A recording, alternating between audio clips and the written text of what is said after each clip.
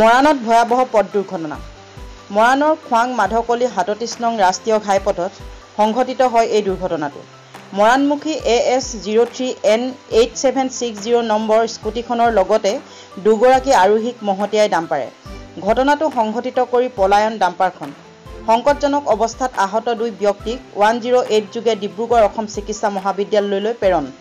আৰোহী দুগৰাকীৰ সঠিক খবৰ বাতৰি সংগ্ৰহৰ সময়লৈকে জানিব পৰা নাই। এই দুৰ্ঘটনাটোত এগৰাকী বৃদ্ধাৰ স্বাস্থ্য অৱস্থা অতি সংকটজনক। এতিয়ালৈকে ধৰা পৰা নাই। আমি বেলেগৰ জেগা ডিউটি আছিল যদিও তৎকালীনভাৱে জানিব পাৰি। ঘটনাস্থলীলৈ আহোঁ। ঘটনাস্থলী আহি জানিব পাৰোঁ।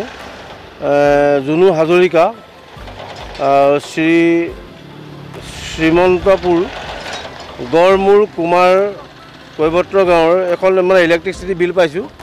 আৰু জখমগৃহ স্কুটিখনৰ মানে বিশেষ আমি সাৱধান ল'বলগীয়া হ'ল। মানুহজন দুজনৰ অ- মানে অৱস্থা অতি সংকটজনক।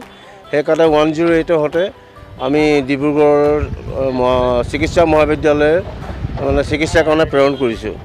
আৰু জানিব পাৰিছোঁ যে এখন নাম্বাৰে মাৰিছে। মই যদিও কোনো ধৰণৰ সেই গাড়ীৰ নাম্বাৰ কোনো নাজানে। আৰু সেইকাৰণে আমি সেই মানে যিখন গাড়ীয়ে খুন্দা মাৰিলে সেই খুন্দা মৰা গাড়ীখন আমি মানে কৰায়ত্ব কৰিবৰ কাৰণে আমি চেষ্টা কৰি আছোঁ। আৰু ইতিমধ্যে জানিব পাৰিছোঁ যে বৰবুৱা থানাত কিছুমান গাড়ী ৰাখি থৈছে।